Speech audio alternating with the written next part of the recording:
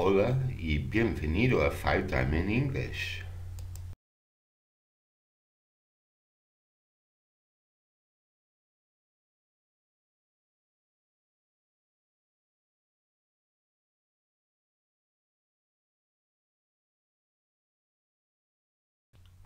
Bueno, quiero empezar con cuatro preguntas que un maestro de inglés en un hotel no quiere oír. Nunca jamás. Y los menciono porque, de hecho, los he oído varias veces. ¿Cuáles son esas preguntas? ¿A qué hora son las clases? ¿Dónde están las clases? ¿Me puede decir dónde se encuentra el maestro de inglés? Y, oh no, ¿en qué departamento trabaja usted?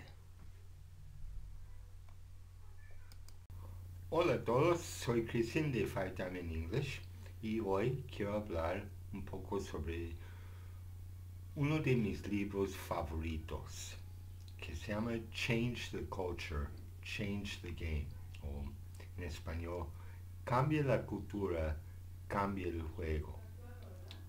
Y menciono ese libro no, no porque me pagan o algo, simplemente menciono ese libro porque aprendí algo muy útil y me abrió los ojos sobre algo muy importante.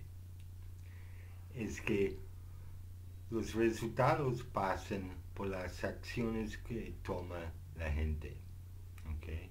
Y en el libro se explica eso, pero también va más allá para explicar que la gente actúa a base de lo que creen ser cierto.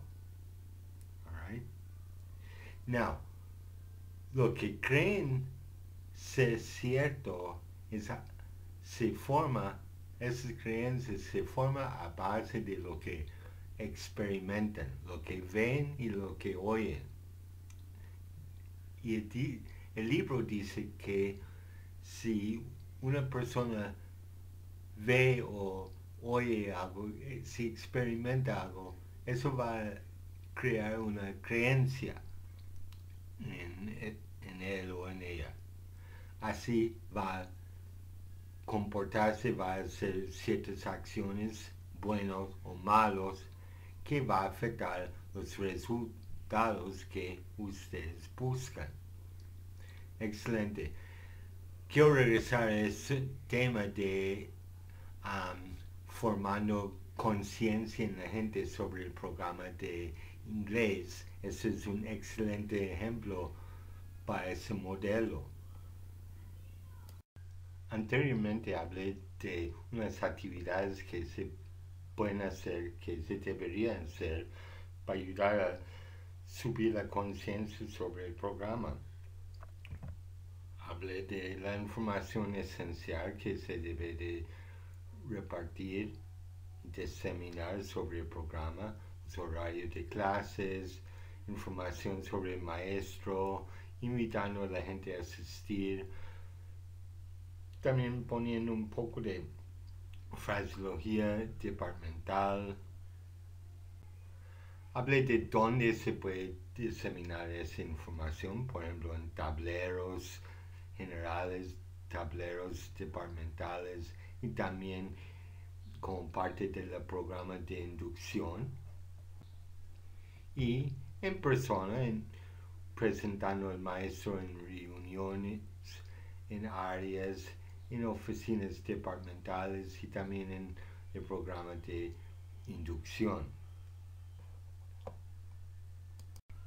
También hablé de lo que pasa cuando nadie recibe ninguna información sobre el programa o sobre el maestro, que lo que tienes preguntas que he recibido, como a qué hora son las clases, dónde están las clases, etcétera, etcétera. Eso es una falta de apoyo cultural dentro del hotel que produce ignorancia o desconocimiento sobre lo que se ofrece. ¿Qué es lo que queremos? ¿Éxito o frustración con nuestro programa de inglés?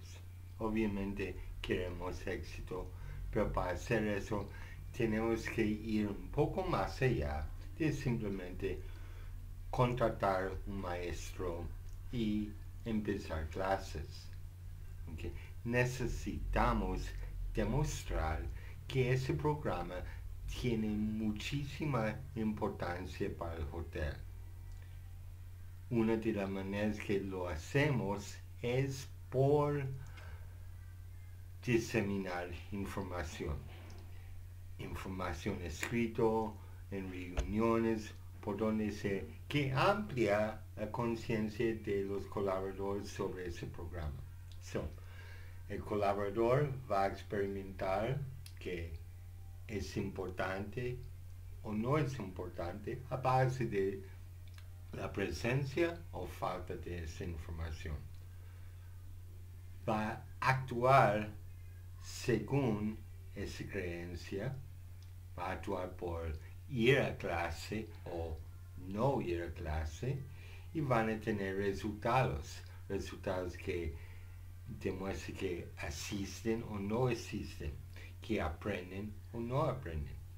Okay, so, es la importancia de formar una cultura de aprendizaje sobre el inglés en el hotel. Ahora, si le interesa más información sobre ese libro que mencioné o un grupo que hace capacitación a base de esos conceptos, favor de consultar conmigo y con mucho gusto le podría dar una información sobre ese grupo. Es información fantástica, por cierto. Muchas gracias y hasta la próxima.